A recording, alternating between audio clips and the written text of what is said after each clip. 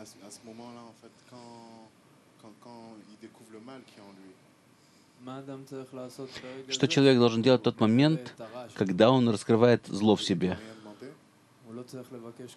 Он ни о чем не должен просить?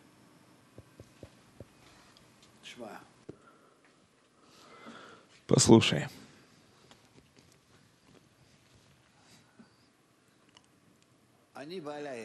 Я хозяин предприятия. И, скажем, у меня есть с тобой сделка, и я тебе посылаю или смс или mail, или даже письмо, написанное моей рукой, или даже заказное письмо по почте, или даже через адвоката.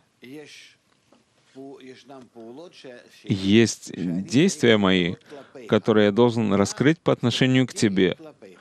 Что я собираюсь сделать по отношению к тебе, по отношению к какой-то сделке. Это называется, что я посылаю тебе свое мнение, свое ощущение, свое отношение к тебе. Если мы находимся в Творце, кому мы должны что-то посылать?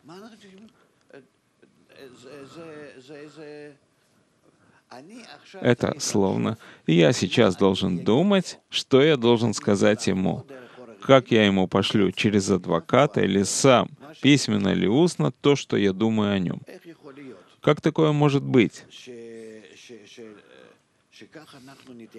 Чтобы мы таким образом относились к системе, в которой мы находимся, каждой своей клеткой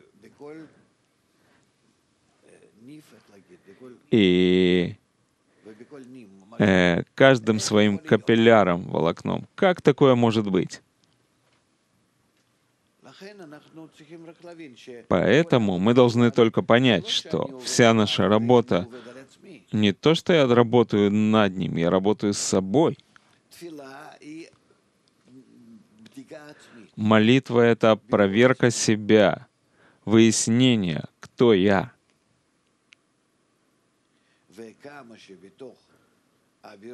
И насколько в этом выяснении я выясняю в этом самоанализе, что он находится со мной постоянно, тогда называется, что я иду навстречу выяснению, когда в этом выяснении я раскрываю поста- постепенно объединение. Объединение может быть об- в обратной его стороне, в э, прямой, когда это лицом к обратной стороне, лицом к лицу. И так я прихожу.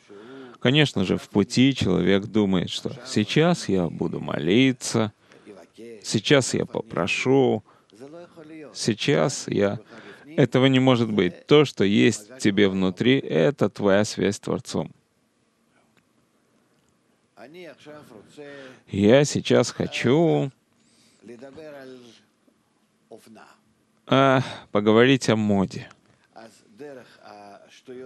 И тогда через эти глупости называется, что я говорю с Творцом.